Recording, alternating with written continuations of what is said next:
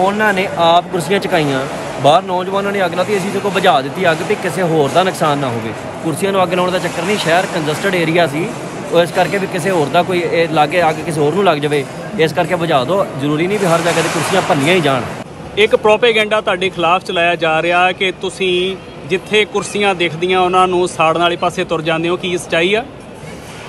ਦੇਖੋ ਅਸੀਂ ਸਿੰਬੋਲਿਕਲੀ ਕੁਰਸੀਆਂ ਸਾੜੀਆਂ ਨੇ ਹੈ?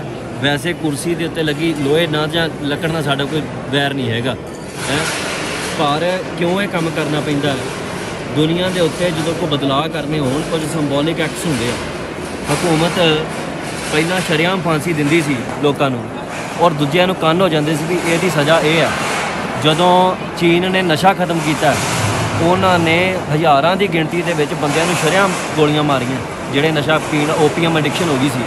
ਇਰਾਨ ਦੇ ਵਿੱਚ ਜਦੋਂ ਚਿੱਟੇ ਦਾ ਦੌਰ ਚੱਲ ਗਿਆ, ਕੋਕੀਨ ਦਾ ਤੇ ਚਿੱਟੇ ਦਾ ਬਹੁਤ ਵੱਡੇ ਪੱਧਰ ਤੇ, ਇਰਾਨੀਅਨ ਰੈਵੋਲੂਸ਼ਨ ਤੋਂ ਬਾਅਦ ਚ ਉੱਥੇ ਚੌਂਕਾਂ 'ਚ ਖੜ ਕੇ ਫਾਂਸੀਆਂ ਦਿੱਤੀਆਂ ਗਈਆਂ ਸੋ। ਫਾਂਸੀ ਤੇ ਕਿਤੇ ਲੋਕ ਪਰਦੇ 'ਚ ਵੀ ਦਿੱਤੀ ਜਾ ਸਕਦੀ ਸੀ। ਦੋਸ਼ੀ ਨੂੰ ਖੜ ਕੇ ਚੌਂਕਾਂ ਦੇ ਵਿੱਚ ਫਾਂਸੀਆਂ ਇਸ ਕਰਕੇ ਦਿੱਤੀਆਂ ਜਾਂਦੀਆਂ ਸੀ ਕਿ ਸਿੰਬੋਲਿਕਲੀ ਲੋਕਾਂ ਨੂੰ ਪਤਾ ਲੱਗ ਜਾਏ ਵੀ ਇਹ ਗੁਨਾਹ ਬੜਾ ਮਾੜਾ ਹੈ। ਸੋ ਕੁਰਸੀਆਂ ਮੈਨੂੰ ਪਤਾ ਹੈ ਵੀ ਇਹ ਹੋਰ ਵੀ ਕਿਤੇ ਕੰਮ ਆ ਸਕਦੀਆਂ। ਪਰ ਮੈਂ ਇਹ ਗੱਲ ਕਹਿਣਾ ਵੀ ਸਾਡੇ ਪਹੁੰਚਣ ਤੋਂ ਪਹਿਲਾਂ ਹੀ ਤੁਸੀਂ ਪ੍ਰਬੰਧਕਾਂ ਨੂੰ ਬੇਨਤੀ ਹੈ, ਤੇ ਕੱਲ ਤੇ ਪ੍ਰਬੰਧਕ ਕਮੇਟੀ ਜਿਹੜੀ ਮਹਾਲੀ ਦੀ ਸੀ ਉੱਥੇ ਸਾਰੀ ਕਰ ਰਹੇ ਆਪਣਾ ਜਲੰਧਰ ਦੀ। Model town Jalandhar. ਦੀ। ਉਹਨਾਂ ਨੇ ਆਪ ਕੁਰਸੀਆਂ ਚਕਾਈਆਂ।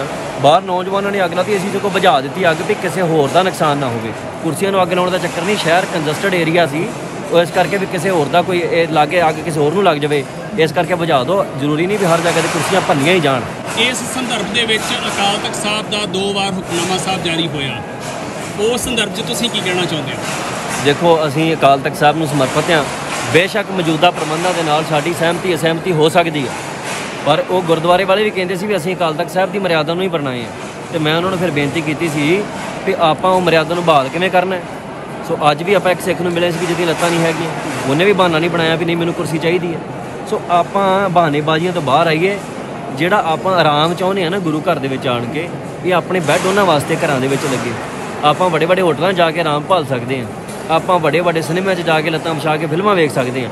ਗੁਰੂ ਦਾ ਘਰ ਇਹਨਾਂ ਕੰਮਾਂ ਨੂੰ ਨਹੀਂ, ਗੁਰੂ ਦਾ ਘਰ, ਗੁਰੂ ਦਾ ਬਚਨ ਸੁਣਨ ਆ ਤੇ ਚੌਂਕੜਾ ਮਾਰ ਕੇ ਬਚਨ ਸੁਣਨ ਨੂੰ ਆ।